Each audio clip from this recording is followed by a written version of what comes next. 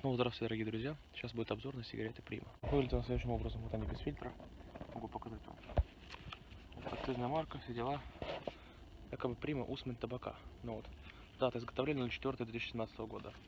Вот. 38 рублей. Ну, вы знаете, что сейчас Prima стоит ну, 50 или 60 рублей. Акцизная такая, знаете. Вот это дубль подделка. Ну, что могу сказать по поводу этой Примы? Сейчас мы с вами ее и закурим. Перед началом просмотра хочу поблагодарить всех вас за то, что вы смотрите мои видео. Вот, кто смотрит, все подписчики.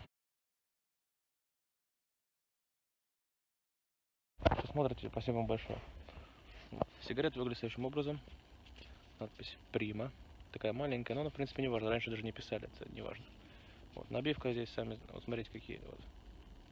Может, конечно, не очень объективно, но сгинается, но не ломается. Давайте закурим.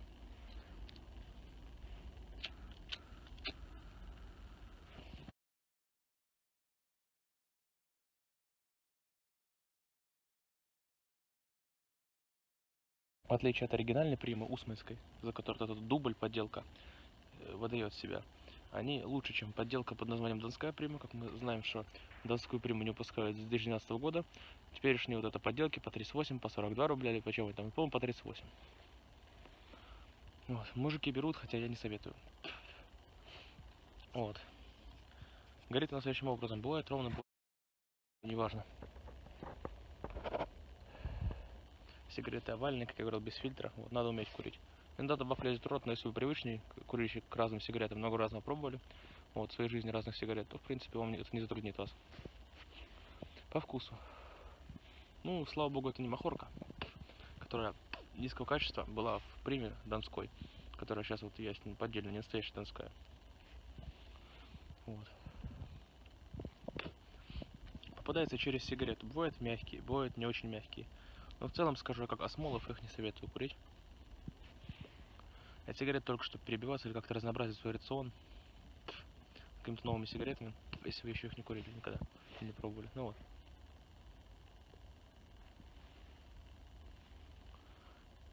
Дым плотный, могу даже вам показать, но, наверное, тут видно.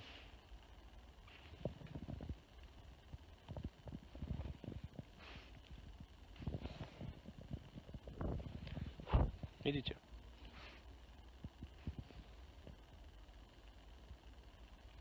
Плотный дым. Вот горит уже, вот столько сгорела у нас сигарета. Сигарета уже до середины докурилась. Вот, в конце я сейчас вот вам могу показать. Фу.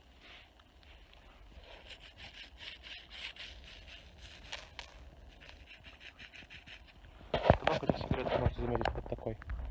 Есть, как сказать, жилы. Вот. Палки, брев, ну, брев. Подготовить. Под конец появляется древесный вкус. Но это не очень, это неплохо, нормально пойдет. Может быть ореховый неприятный, но здесь его маловато, но это хорошо. Ну, так как в донской э, подделке, которая выдает себя за донскую приму, называется Прима Дона. О ней упоминал ранее. Ну вот, сигарета у нас докурилась практически до конца. Вот. Делаем выводы, ребят, подводим итоги. Вот. Курить можно, но только, знаете, ознакомиться, либо прибиться как-нибудь, если какие-нибудь времена такие, знаете. Вот когда с куривом туго, нормально что-то купить. Туговато подытожу. Вот тот Осмолов, который был, вот эта прима, в всяком случае, они лучше, чем Синий Винстон, чем всякое дерьмо. Вот это вот наше обычное акцизное там за 150, за, неважно, даже до 100 рублей. Это все говнище, конечно, полное. Но прима тоже как бы не очень. Ну, вот.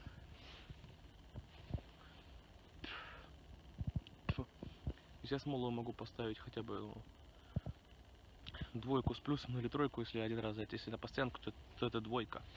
Вот. Точнее не двойка, а ну тройку натяну за то, что накуривает. А так, по вкусу это... Ну не очень это сигареты. И вот эта прима тоже, она не очень.